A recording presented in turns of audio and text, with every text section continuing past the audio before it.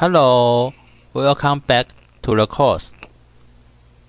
I think you have installed Anaconda in your local computer or logged in Colab to try the interface of Colab or something or some functions.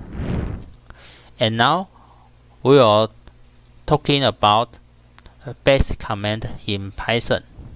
And here we have the practice for you for each part and you can know how to use these basic commands to write the program and uh, execute them or how to fix the problem when we are practicing these uh, questions. Okay, let's start. The first one of Python is its syntax. Uh, Python syntax is very important, especially for its indentations. Like when you use the commands if, else if, else, for, while, and so on, it needs command in after these commands. And when you use these commands, the next line is need indentation. That means Python uses indentation to identify a block of code, and the number of space is up to you as a programmer, but it has to be at least one space. Let me take some examples.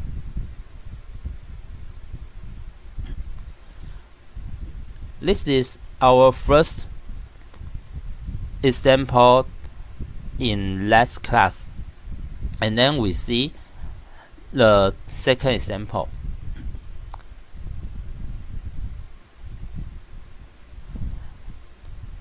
We type if 5 is larger than 2 then we will do the print sims so you can see that if after if it needs common common and then the next line or the next next line is for if. Then it needs some space here. And then we can execute this command. We can see this if this command is correct then anaconda can output the result like this one. If you don't have any space here like this example then you will see that the output will show the indentation error here. That means it the Python expected an indented block. Because if you don't have a space here the Python will don't know what will this if do because there is nothing to do after this line this command. So when you have no space here it will show ident indentation error here. And then if you miss the command if you miss the command and the Python will show the error here like the syntax error and it will set invalid syntax yeah. so you when you execute the Python's code if and there is some error here the output will show some error message after your comments and uh, the code. If you want to repeat to execute the code, you can just click run here and it will show some star here and then output the answer.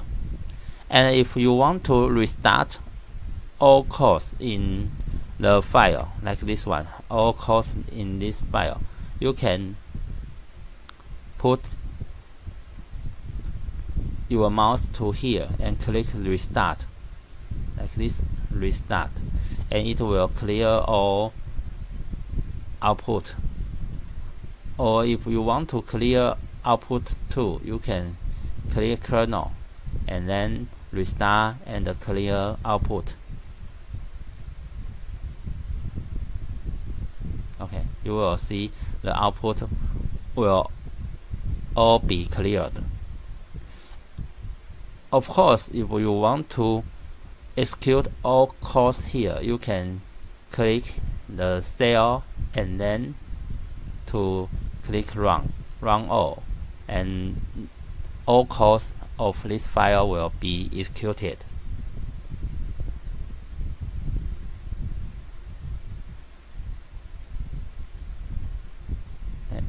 Until it meets error here.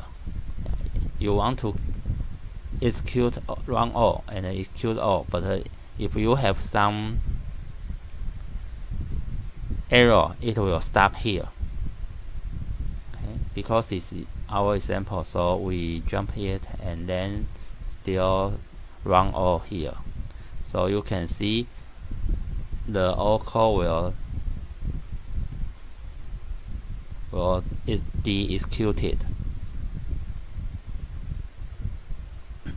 okay. And then you can see if this is error. So it will show some output. And uh, if you have one space or more space after if statement it is okay for pythons you can see the python can work fine this is the python syntax and then the python is very very focused on the syntax that means python is not a freestyle written program it must follow Python syntax. Okay. And if we want to mark some comments in your code, you can use this simple for one line and list for multiple lines. And the importance of comments is that comments can explain Python code and make the code more readable and prevent execution when testing code. We can see some example. Here, if you write this line for print and uh, you think you will forget what it is and you can use the command like this simple before it or after this line.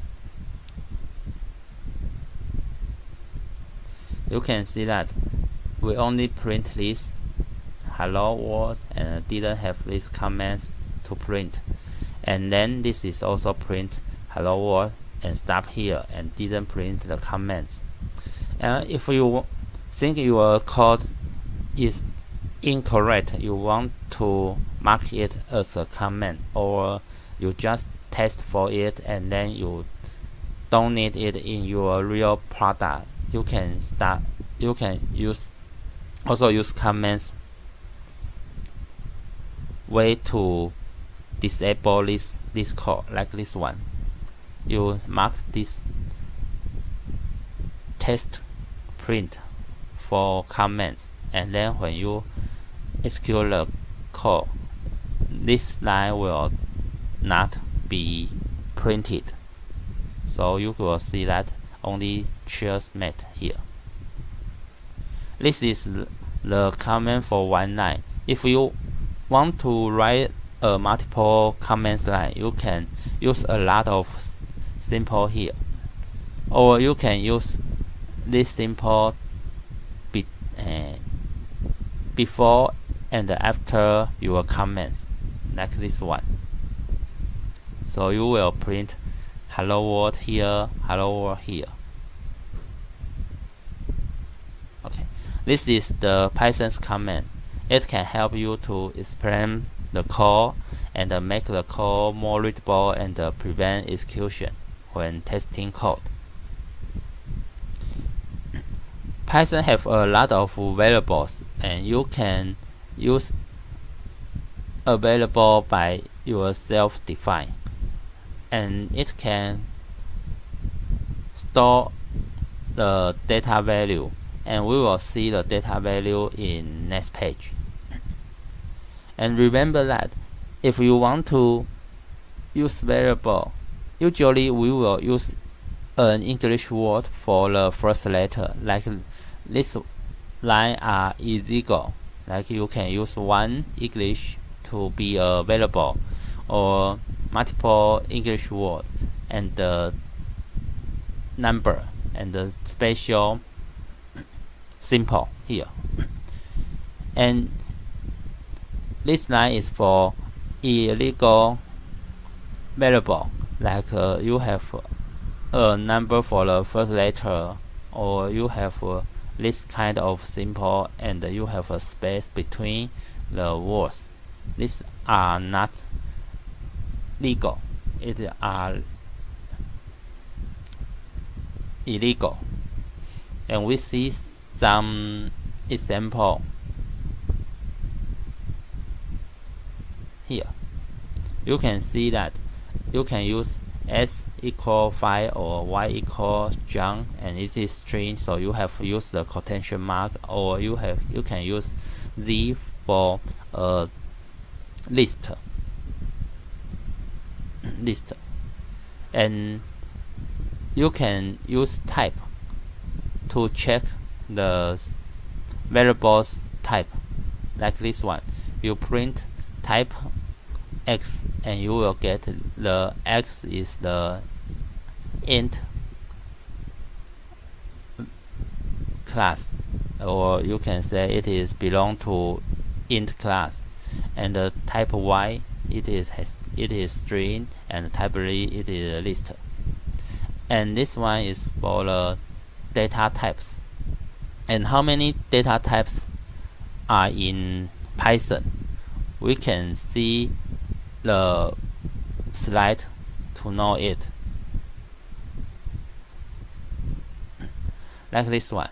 There are a lot of data types in Python like text type number numerical type and uh, sequence type mapping set boolean binary types.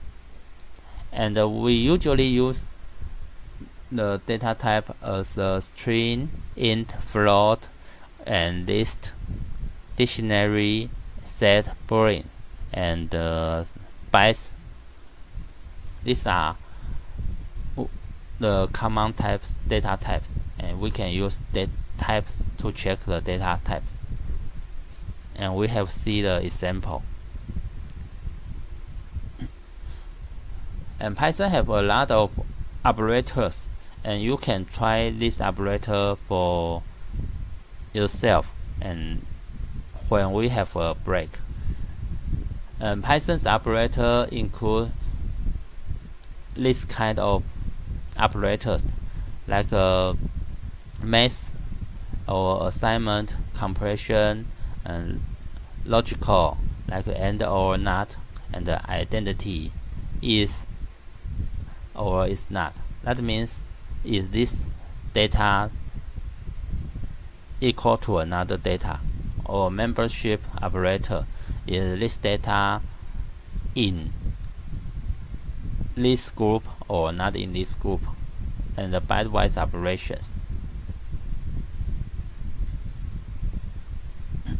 Okay and let me take a practice. You can use Anaconda or Colab to execute the example in this website and you will know the Python's a lot of operators and know how will it do or what will it means.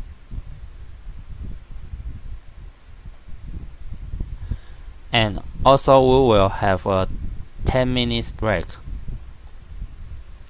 That means uh, we will start our next course after 15 minutes.